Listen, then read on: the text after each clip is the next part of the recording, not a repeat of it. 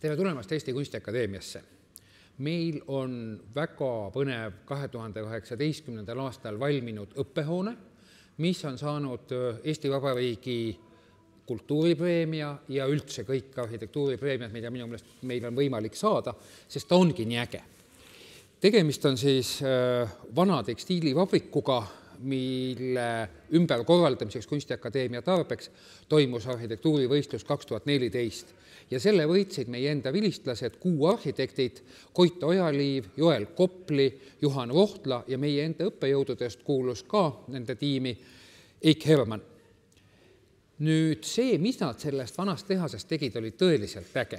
Nad jätsid alles selle teravnurkse Eesti-aegse tehase kompleksi, nõndanimetatud rauaniidi osa, mis on muinsuskaitse all, ja kaks nii Põhja-Puiestee äärse kui Kotsepuu tänava äärse kuuekümnendate ja seitsmekümnendate aastate tiiva, aga lammutasid ära selle niisuguse segase mudu siit keskelt ja tegid siia kõiki kolme tiiba ühendava musta A-ploki, kust on võimalik hargneda igas suunas, kuidas tegevused ainult ette näevad ja kutsungi teid natuke ringi käima ja vaatama, mida põnevat siin majas kõike leidub.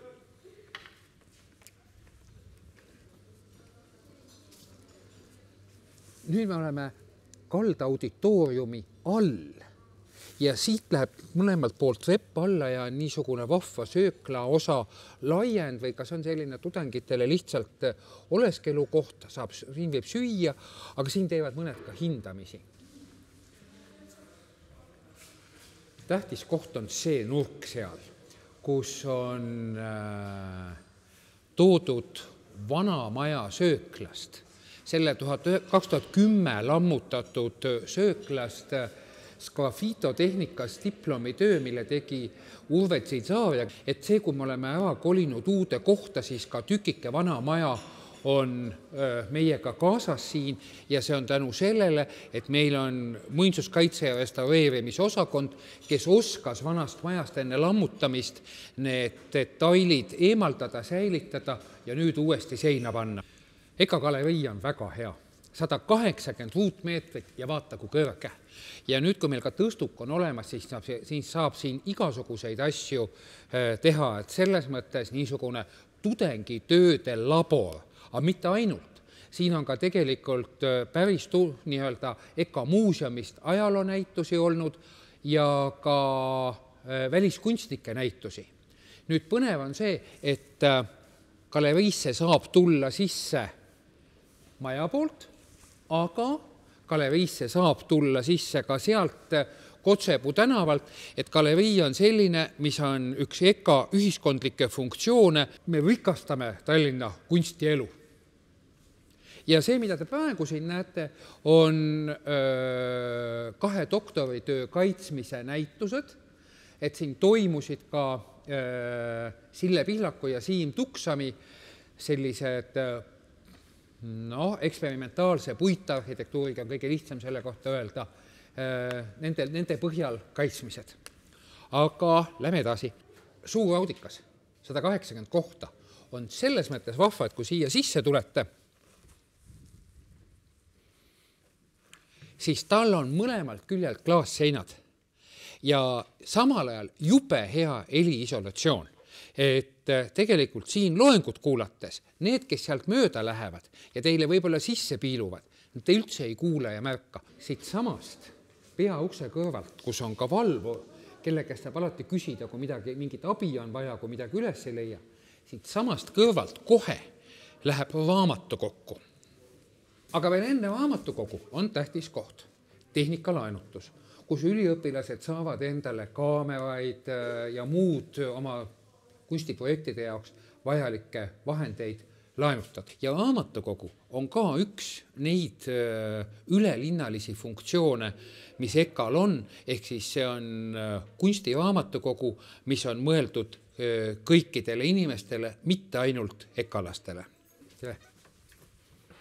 Raamatukogu sisenemise koridor on selles mõttes vahva, et siin on kogu aeg näitused ja siin on sageli noh, raamatu illustratsioon, mida ju meie graafikud ja disainerid ja kõik teevad ja neid on jube hea siin seina peal näha. jube põnev on see, kuidas raamatukogu, siin tuleb hästi vaikselt rääkida, sest inimesed teevad tööd ja siin ei tohi kunagi kõva häälega rääkida. aga see on vahvatus, ta on tänavapinnast madalamal. et see on, et sa istud siin arvutis või niisama loed raamatut ja näed inimeste jalgu ja samas jällegi heliisolatsioon on jube hea.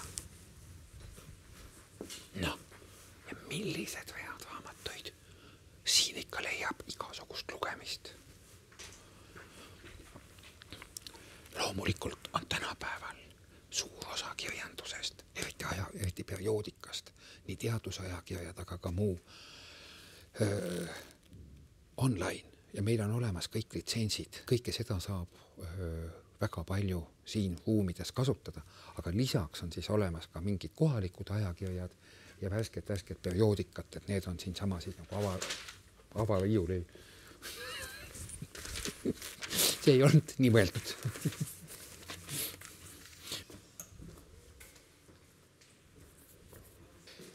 See muinsuskaitsealuse rauaniidi osa trepp on super, et äh, see on kõik vana säilitatud, siis on pandud need varvad, mis ka jube vahvalt seda vertikaalsust rõhutavad ja mulle meeldivad ka need sisearhitektide silinderjad, valgustid, mis kõik koos öö, nagu seda, niisugust seda ümarat vormi ja vertikaalsust rõhutavad.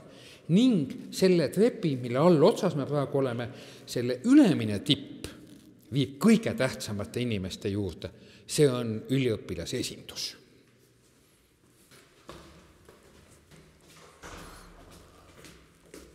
tere tulemast üliõpilasesinduse kontorisse. siin üliõpilasesindus langetab tähtsad otsused ja üritab üliõpilase elu edendada. ja meil on muidugi võrdlemisi selge vaade merele ja siis natuke vähem selgem vaade Toompeale või vastupidi. nii et äh, ta on äh, kooli kõige kõrgem torn, mis tähendab, et äh, kõik pea et on nähtav, mis koolis toimub.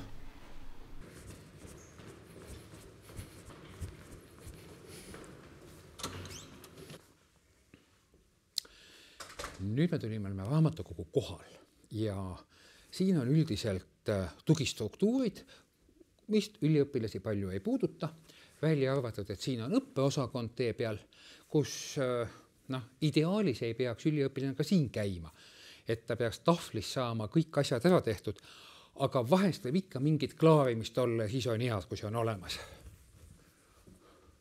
siis tänu Eko muuseumile on meil ju mitmel pool seina peal taieseid ja siin te näete, ma ei tea täpset aastat, aga see peaks olema Valentin Vaheri selline monumentaalmaal kaheksakümnendate algusest. Siis edasi, siin on seina peal rektorite galerii, alates esimesest rektorist aastast tuhat üheksasada neliteist Voldemar Päts kuni Signe Kivini. igal korrusel selles majas on äh, sellised äh, ühisalad, mida on võimalik kardinatega kinni tõmmata ja siis äh, saab siin teha kas seminari, mingit näitust projektiruumina kasutada, need töötavad jube hästi. ja samas, kui ta nüüd on lahti, siis see, kuhu kõik vaated avanevad, see on nii tore, mulle tõeliselt meeldib. ma näen siit läbi selle suure kaldauditooriumi äh, Äh, Kotsepuu tänavale, läbi selle akna ma saan vaadata seda, äh, mis näitus parasjagu galeriis on ja nüüd siit järjest hakkavad kõik need äh, õpperuumid peale, näiteks siin on prototüüpimise labor, mis on väga mitmekülgselt tegevusi võimaldab ja teenindab paljusid erialasid. see on väga hea lift, et kui teised liftid on öö, inimeste veoks, siis see on see lift siin töökodade poolel, kust äh, saab vedada ka tõeliselt suuri, ta on kahepoolne ja see on taieste vedamiseks. ja nüüd oleme all sepikotta jõuame. aga et äh, metallitöökojas äh, Sander Haugasel tund, aine on kuidas? metallitöö algkursus. metallitöö algkursus, kellele see mõeldud on? esimesele kursusele praegusel hetkel siis Ehte Sepa võistlused. Ehte Sepa esimene kursus. Läbi ekraani te ei tunne, mis lõhn on, kui tuled puidutöökotta, see on super. see on niisugune lõhnaelamu. et praegu see näeb kõik nii kuidagi klants ja puhas välja ja näed, kuidas siin vöölipikkide taha ei ole veel keegi tulnud. aga peagi, kui see mester käima läheb, saab sellest üks öö, põhilaboreid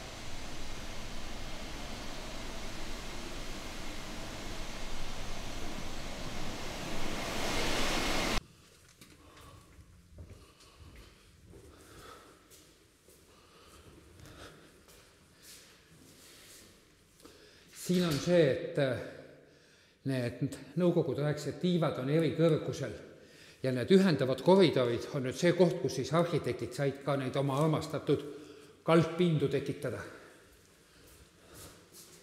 ah,. ja siit on vahva näha, kuidas selle sõvestiku all on tudengid endale igasugust niisugust äh, mõnusat äh, lõõgastusruumi tekitanud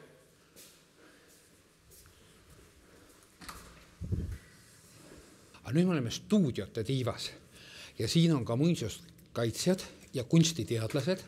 sealt tuleb hästi vaikselt olla, sest kunstiteadlased mõtlevad.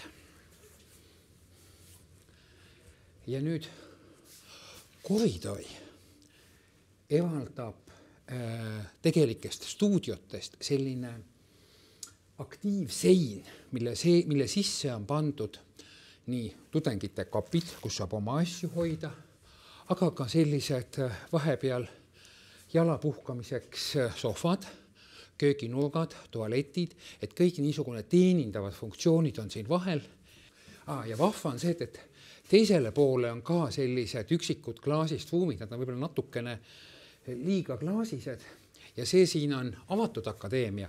avatud akadeemia tähendab siis äh, sellist ülikooli vormi, kus mitteüliõpilased saavad äh, kunstialaseid kursusi äh, heal akadeemilisel tasemel tasu eest. tere. tere, kas me tohime tulla segama? siin oleme jõudnud siis äh, maalitundi, mida juhendab kunstnik Tiina Tammetalu. ja kui sa tuled edasi, sa näed, et äh, neil on olemas ka modell ja üliõpilased, kes siis modelliga töötavad. aga siia me ei tohi pikalt jääda, sest me segame töötavat üliõpilast. Lähme edasi. aitäh! no tere, võime näha, professor Toomik, et äh, siin vaata, kus maja videotuuril äh, veab, et niisugune kuulus kunstnik, meie professor kohe tee peal vastu tuleb, et jõudu sulle. sulle ka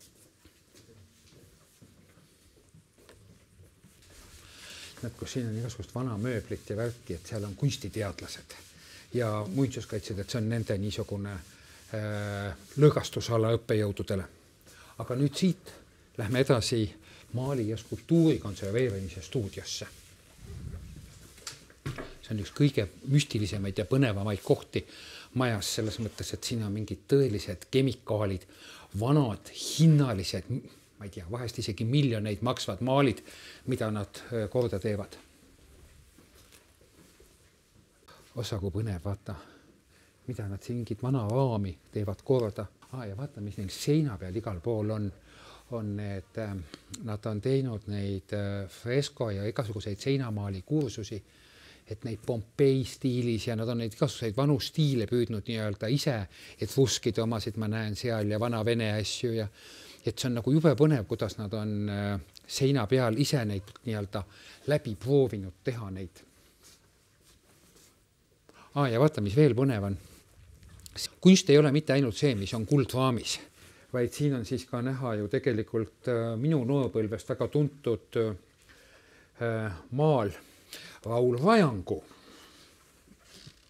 et täiesti ka niisuguseid restaure-, restaureerida tuleb ka kaheksakümnendate, üheksakümnendate, võib-olla veel uuemat kunsti, et täitsa huvitav on see kuu omaaegne legendaarne Raul Vajangu pilt siit niimoodi leida. nüüd me oleme stuudiotiiva kõige ülemisel korrusel, kus on arhitektuuri eriala üliõpilased ja neil on suured avavad stuudiod, kus siis nad vaheseintega on igal kursusel oma ala ja nendel on siis see, et nad on nii kõrgel, et neil paistab ära meri, aga neil on olemas ka laeaken. Ja muidugi nendel on lõputult makette. jah, see võdu on kindlasti vahva iseenesest, kuidas nad niimoodi lamamistoolidel, nad ei ole küll tudengeid täis, aga tundub, et keraamika osakonnas juba õppetöö on alanud, piilume. keraamikas, mis teil käsil on, Kristel? Meil on hetkel käsil äh, kursus nimega objekt eksterjööri. ja teeme äh, sellel aastal koostööd äh, Tallinna Loomaaiaga, kus me siis tudengitega ja tellijaga koostööl valmistame või hakkame valmistama skulptuuri ja praegu käib siin tihe arutelu erinevatel teemadel. Väga tublid ja ma näen, et keraamikaosakond on igatpidi tööle hakanud, sest seal on Kersti Laanma midagi seletamas ja siit ukse vahelt paistis meister Lauri Kilusk. töö käib täiega, olge tublid. aitäh. nüüd me oleme jõudnud klaasiosakonda vaata, mis neil kõik akna peal on, eks ole, klaas on tõeliselt tugeva tehnoloogilise baasiga, kusjuures äh, terve see maja on ostetud täis kallist uut tehnoloogiat. äge on tulla, kui sul on nii viimse peal tehnikat täis, millega saab klaasi teha ja klaasi tegemine on nii ilus töö. vaata, tore on see ka, et äh, nad on uus maja küll, aga juba on nagu seinte peale igasugust äh, varasemate aastate üliõpilaste töid pandud, et see teeb maja nagu mitmekihilisemaks, et sa tunned, et see ei ole mingi eile asutatud kool, vaid see on kool, millel on olemas kuulsusrikas ajalugu. maa ja aksessuaaridisain ja siin on meil kullassepad, aga neid on hea lihtsalt praegu öö, sisse piiluda lihtsalt. Tere, vabandust, et me hetkeks segame, et äh, tuleme kaameraga ka, et see on fotoosakond. Ja fotol on üks EKA-s täiesti unikaalne eriomadus, neil on köök. see tunne läbi kaamera ei ole muidugi seda toidulõhna, mis siin on tunda, aga see muudab selle osakonna tõeliselt eriliseks. Väga hea täpsustus. Ja muide, selle täpsustuse ütles üks Eesti kõige kuulsamaid kunstnikke, professor Marge Monko. Et kus me oleme, ütle sina. jaa. õmblustöökojas, meil on siin õmblusmasinad. Need on meie kõige uuemad masinad ja, ja siis meil on ilusad siin äh, triikrauad ja liimipressid ja nüüd need on meie need kõige uuemad, mis me kõige viimasena oleme saanud. nii et meil on väga hea sisustus siin tore. ja seal on näha meie töövahendid veel, need äh, torsad. äkki räägite, mida teie teete parasjagu? Me teeme seeliku lõiget, just, täiesti nullist. võtsime enda pealt mõõdud ja siis selle pealt tegime paberist endale lõiked. ja jõudu teile selleks. aitäh, aitäh. tere tulemast VR laborisse meie keskendume sellele, kuidas virtuaalreaalsuse tehnoloogiaid disainiprotsessis ära kasutada. Vaatame, kuidas neid kasutada reaalselt abivahendina oma esimeste visandite üles mudeldamisel ja kuidas kasutada ka virtuaalreaalsuskeskkonda sellise kontrollkeskkonnana, et analüüsida, kuidas inimene ennast ühes või teises ruumis tunneb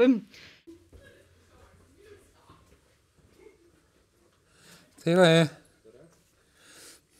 kuule, Marko, sina tead, kus on see kõige vanem asi, kas see on see? Kõrgtrükipress on Kõrg., kõrgtrükipress on jah. siia selle juurde, mis käib, mis on tegelikult teist veel lisaks on unikaalne, on meie tinaladu. et äh, kui me tulime, kui me hakkasime siia nagu uue maja olukorras seda planeerima, siis äh, meie püstitasime enda jaoks nagu sellise eesmärgi, et äh, meil on siin võimalik õpetada praktiliselt kõiki traditsioonilisi graafikatehnikaid. What are your first impressions? As a, so far, I'm super happy because more, way more things are open than in my school, and I really like how the building, even though it's it's quite new, they still have this. It seems like a soul of an old building, so it seems really a nice atmosphere. Thank you. Yeah. Oh, for me, the school is a kind of a labyrinth still. Okay. like getting to the studio, you have this triangular hallway. Um, you kind of have to guess where to go, but it's really beautiful. Okay, thank you. You're welcome. Enjoy your stay Thank here. you. noh, täna on küll udune ilm, aga, aga need katuseterrassid on meie majal ägedad. seal selles silindris üliõpilasesindus oma aukohal ja tänase uduga ei ole näha seda merd nii hästi, aga, aga ja, ja seal kogu see Põhja-Tallinn, kalamajad ja kõik, mis seal on, kohad, kus on äh, nii palju igasuguseid äh, arhitektuuribüroosid, disainibüroosid, reklaamibüroosid, kes kõik janunevad EKA vilistlaste järgi, et neid tööle kutsuda